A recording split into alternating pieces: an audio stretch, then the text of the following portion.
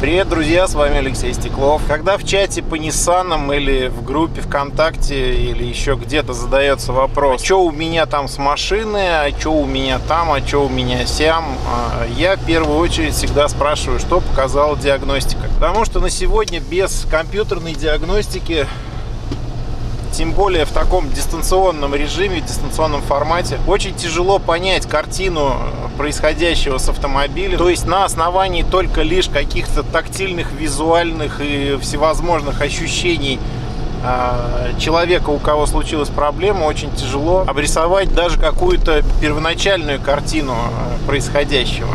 Поэтому, как только возникает подобный вопрос, я всегда говорю, что показала диагностика. К сожалению, компьютерной диагностикой либо диагностикой при, с использованием какого-то программного обеспечения на сегодня пользуются далеко не все но также не все знают, что, например, в Nissan существует встроенная система самодиагностики. И когда совсем недавно парень написал, а что у меня при разгоне вот тут греет, а тут не греет, а вот так у меня печка не работает, а вот так она работает, тут температура не набирает, я опять задал вопрос, а, что показала диагностика, что для него было абсолютным откровением, что оказывается наша климатичка в Pathfinder диагностируется. Он говорит, ну я пока не ездил к диагностам, времени нет туда-сюда. Я говорю, есть встроенная функция самодиагностики, то есть можно и воспользоваться ей. Что было для него откровением номер два. Что, оказывается, не надо никому ехать, чтобы э, провести эту процедуру. Учитывая, что с наступлением зимы этих вопросов все больше и больше, а, посмотрим, как же провести процедуру самодиагностики на наших автомобильчиках. Погнали!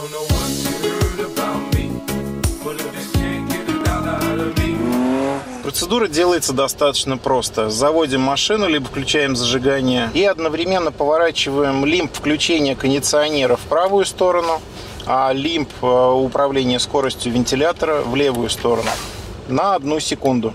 Сразу после этого нажимаем кнопку авто. Хоп, хоп. Смотрим.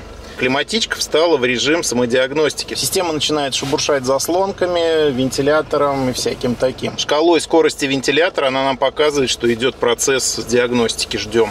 Система самодиагностики показала два нуля. Это говорит о том, что по мнению системы никаких ошибок нет. Все исполнительные и так далее механизмы работают хорошо. Но это не всегда так. Давайте посмотрим, что же нам покажет программа Motor Data при подключении через разъем УБД-2. Подключаемся к ИБУ. Климат-контроль. Подключиться. Да. Кодов неисправности он показал только один. B2580 это датчик, который находится у нас вот здесь, вот на панельке.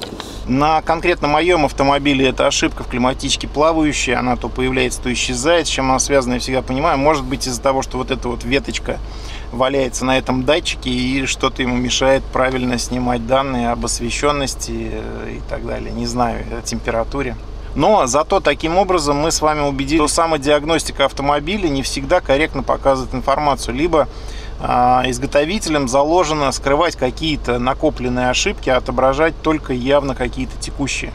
Поэтому призываю всех пользоваться нормальным программным обеспечением, а к самодиагностике прибегать только в самом крайнем случае. Если видео было вам полезным, ставьте лайк и смотрите в следующем видео полный расклад по правильному и неправильному подключению дополнительного насоса в систему охлаждения для того, чтобы печка грела сильнее и в салоне было теплее. А также какие проблемы бывают при неправильной установке предпускового подогревателя. В нем мы вместе с вами разберем различные схемы подключения и обсудим их плюсы и минусы. Подписывайтесь на канал и не болейте. Пока.